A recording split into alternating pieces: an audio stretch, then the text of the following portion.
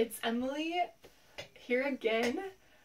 I just realized when I'm making these videos how ghetto they kind of are. They're not going to be the best quality, but I've just felt very strongly that I want to record my testimony and my experiences so that hopefully it can encourage and bless someone else. And also, then it will give my future posterity something to make fun of me about, I guess. but, anyways, so today I wanted to share a story that illustrates the power and authority that missionaries have. When you put on your name badge, here I have my my name badge for my mission. When you put on your name badge, and it's not even the badge, it's the hands that are laid on your head that set you apart as a representative of Jesus Christ. The power and the authority that you are given is real.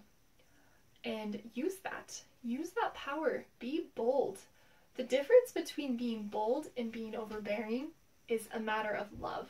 If you love someone and you tell them anything out of love, they're going to appreciate what you said because they're going to feel that love and they're going to feel that you're only telling them because you love them so much and because it means so much to you.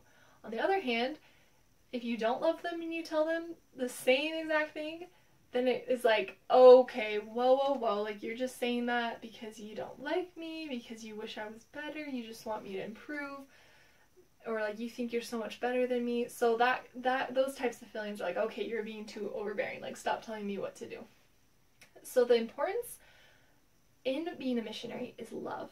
If you love the people that you serve, then you can really tell them bold things that you can really invite them to change their lives in big ways. And also that you can promise them pretty crazy blessings the Lord wants to bless his children, and we have that authority to bless those people in our areas, the people that we are watching over.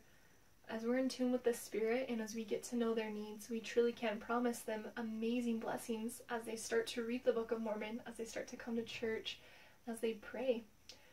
And I want to share one crazy awkward experience that I had.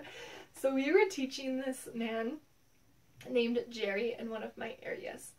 And I just moved into the area, so I was going to a lesson. He'd already had like the first few lessons taught to him, so we were going to teach him a little bit more about the gospel of Jesus Christ.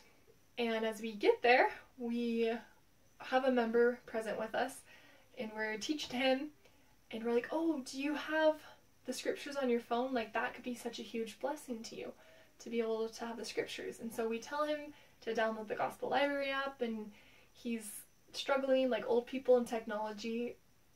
They sometimes they don't go together, right? And so we're like, here, we'll help you. So he gives us over his phone, and we're trying to get on the Gospel Library app to show him where to go.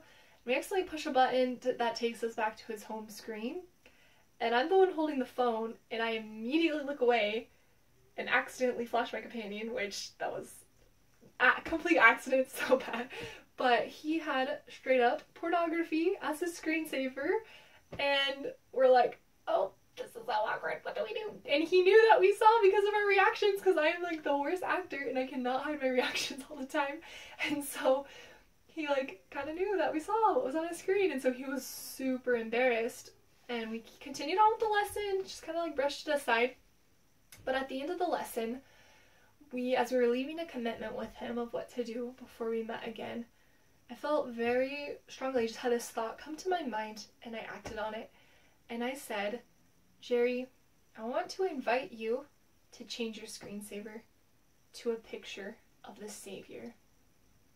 And I know that as you do that, it'll be a daily, hourly reminder every time you see Him to keep your thoughts pure and to obey His commandments. And that will be such a huge blessing to you and he looked really embarrassed, but I didn't shy away from it. I'm I he had something very inappropriate on his phone that was hindering him from being able to feel the spirit, and I felt that as he changed his screen saver to a screen savior, that it would really bless him.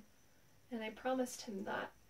And it might have seemed awkward or kind of sounds awkward to talk about now after the fact, but he needed that. And I don't know if he ever acted on that. We didn't end up teaching him and baptizing him, like, we didn't really continue with him much after that. It just wasn't progressing. But that was the Lord speaking to him and helping him to know what was hindering him, and then it was his choice. And sometimes as missionaries, we get into the most awkward situations, and sometimes a little bit of dangerous situations, which I'll talk about in another video. But the Lord is there to guide our words and to protect us and to help us to bless our fellow brothers and sisters, our fellow children of God.